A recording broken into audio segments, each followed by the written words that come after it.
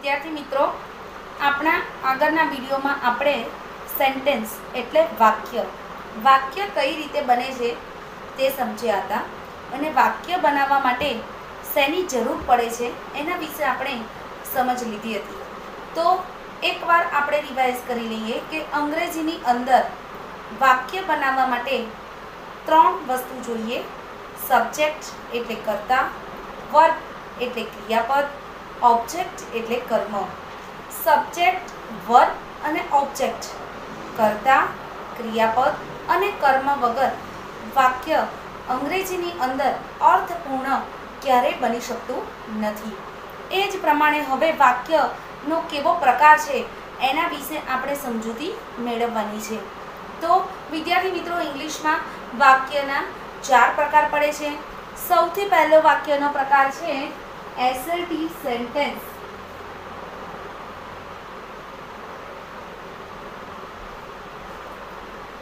જેને આપણે ગુજરાતીમાં કહીશું વિધાન વાક્ય. બીજો વાક્યનો પ્રકાર છે ઇન્ટ્રોગેટિવ સેન્ટેન્સ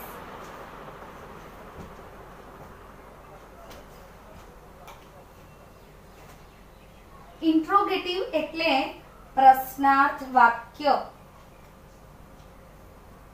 ત્રીજો વાક્યનો પ્રકાર છે ઇમ્પરેટિવ સેન્ટેન્સ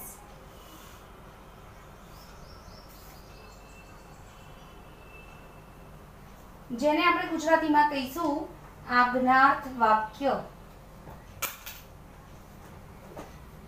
ચોથો વાક્યનો પ્રકાર છે એક્સક્લેમેટરી સેન્ટેન્સ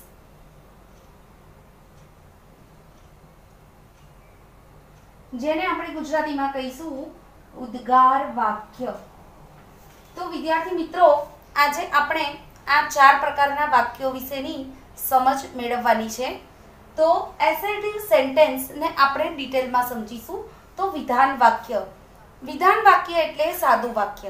એને બનાવવા માટે મારે કર્તા, ક્રિયાપદ અને કર્મ વાક્યમાં ગોઠવવા પડે. કર્તા પ્લસ ક્રિયાપદ પ્લસ કર્મ. અને ફૂલ સ્ટોપ કર્તા એટલે સબ્જેક્ટ ક્રિયાપદ એટલે વર્બ અને કર્મ એટલે ઓબ્જેક્ટ જે આપણે આપણા આગળના વિડીયોમાં સમજ્યા હતા. તો એસેટિવ સેન્ટેન્સ બનાવવા માટે મારે આ રીતે વાક્યને બનાવવું પડે. બીજો વાક્યનો પ્રકાર છે ઇન્ટ્રોગેટિવ સેન્ટેન્સ તો ઇન્ટ્રોગેટિવ સેન્ટેન્સ ટુ ટાઈપ્સના હોય છે. પ્રશ્નાર્થ વાક્ય બે પ્રકારના હોય છે. એમાં એક પ્રકાર છે ડબલ્યુ એચ ક્વેશ્ચન્સ જે ડબલ્યુ એચથી શરૂ થતા હોય છે, જેવા કે વોટ હુ વેન એટસેટ્રા એટલે વગેરે વગેરે. અને ટુ બીજો પ્રશ્ન વાક્યનો પ્રકાર છે, જેને આપણે કહીશું ટુ બી ફોર્મ ક્વેશ્ચન તો ટુ બી ફોર્મ ક્વેશ્ચન્સ એટલે જે પ્રશ્ન વાક્યની શરૂઆત is am are was were, etcetera જેવા ટુ બીના ફોર્મથી શરૂઆત થઈ હોય તેવા વાક્યને આપણે ટુ બી ફોર્મ ક્વેશ્ચન્સ કહીશું. એટલે આપણે એક વાક્ય વિશે શીખ્યા જેને કહીશું એસર્ટિવ સેન્ટેન્સ એટલે કે વિધાન વાક્ય. અને બીજો વાક્યનો પ્રકાર છે ઇન્ટ્રોગેટિવ સેન્ટેન્સ એટલે કે પ્રશ્નાર્થ વાક્ય. અને પ્રશ્નાર્થ વાક્ય બે પ્રકારના હોય છે. ડબલ્યુએચ ક્વેશ્ચન્સ અને ટુ બીનો ફોર્મ ક્વેશ્ચન્સ હવે વિદ્યાર્થી મિત્રો, આપણે ત્રીજો વાક્યનો પ્રકાર એટલે કે ઇમ્પરેટિવ સેન્ટેન્સ વિશે શીખવાનું છે. અને ઇમ્પરેટિવ સેન્ટેન્સ જેને આપણે કહીશું આજ્ઞાર્થ વાક્ય. તો આજ્ઞાર્થ વાક્ય બનાવવા માટે પણ કોઈ કર્તાની જરૂર પડતી નથી. કારણ કે આપણે આજ્ઞાર્થ વાક્ય બનાવીએ ત્યારે કે આજ્ઞાર્થ વાક્ય હું કોઈને આજ્ઞા કરતી હોય, કોઈને હુકમ કરતી હોય ઓર્ડર આપતી હોય કમાન્ડ કરતી હોય, આદેશ આપતી હોય, ત્યારે હું આજ્ઞાર્થ વાક્યનો ઉપયોગ કરું છું. ત્યારે હું કોઈ પણ વ્યક્તિને સંબોધીને એ વાક્ય બોલી શકું નહીં. એટલે એમાં કર્તાનો ઉપયોગ કરવામાં આવતો નથી. આજ્ઞાર્થ વાક્ય નકાર વાક્ય પણ હોઈ શકે છે અને એ નકાર વાક્ય બનાવવા માટે આપણે વાક્યની શરૂઆત ડુ નોટ એક એક્ઝામ્પલ તમને આપું. ડોન્ટ ડિસ્ટર્બ મી તો અહીંયા ક્યાંય કોઈ કર્તાનો ઉલ્લેખ કરવામાં આવેલો નથી. તો એવા વાક્યને પણ આપણે આજ્ઞાર્થ વાક્ય કહીશું. ચોથા નંબરનો વાક્યનો પ્રકાર છે એક્સક્લેમેટરી સેન્ટેન્સ જેને આપણે કહીશું ઉદ્ગાર વાક્ય. અને ઉદ્ગાર વાક્યની શરૂઆત વોટ કાં તો હાવથી કરવામાં આવે છે અને એનું એક ચિહ્ન છે એ ઉદ્ગાર ચિહ્ન.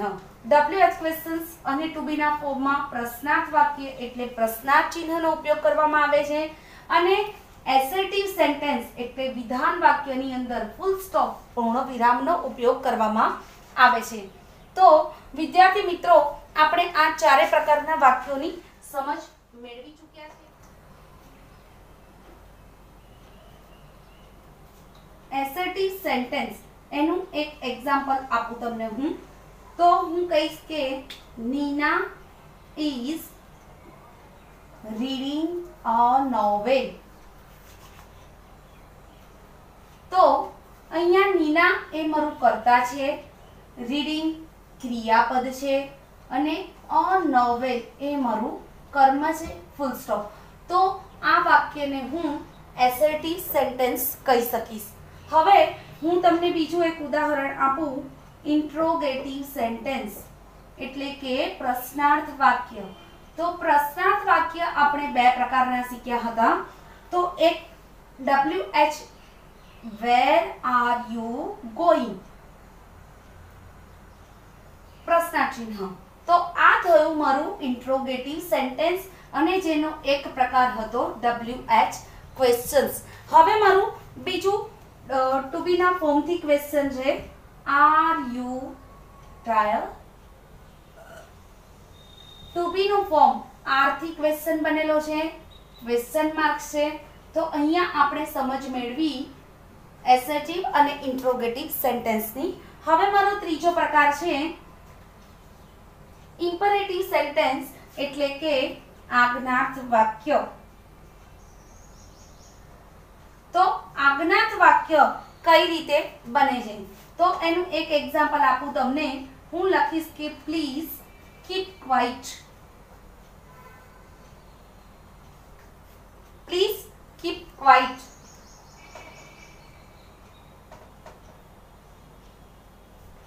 અને એમાં આપણે નકાર વાક્ય બનાવવું હોય તો હું કહી શકીશ ડોન્ટ સ્ટેન્ડ અપ આ બન્યું નકાર વાક્ય. નકાર વાક્ય બનાવવા માટે ડોન્ટ નો ઉપયોગ કરવામાં આવે છે. આપણો આગળનો પ્રશ્ન વાક્યનો પ્રકાર છે એક્સક્લેમેટરી સેન્ટેન્સ એટલે ઉદ્ગાર વાક્ય. ઉદ્ગાર વાક્યમાં તમને હું એક્ઝામ્પલ આપું તો O how sad second example what a dark night how અને વોટ એ વાક્યની શરૂઆતમાં વપરાય છે અને વાક્યના અંતે ઉદ્ગાર ચિહ્નનો ઉપયોગ કરવામાં આવે છે. ઉદ્ગાર સૂચક વાક્યની અંદર આનંદ દુઃખ આશ્ચર્ય આઘાત પ્રશંસાની તીવ્ર લાગણીઓને અભિવ્યક્ત કરવા માટે ઉદ્ગાર વાચક વાક્ય વપરાય છે વિદ્યાર્થી મિત્રો આજે આપણે વાક્યના ચાર પ્રકાર વિશે સમજૂતી મેળવી છે assertive sentence second interrogative sentence there are two types of interrogative sentence third imperative sentence fourth exclamatory sentence તો હું આશા રાખું છું કે તમને આ ચારે ચાર વાક્યોની સમજ આવી ગઈ હશે.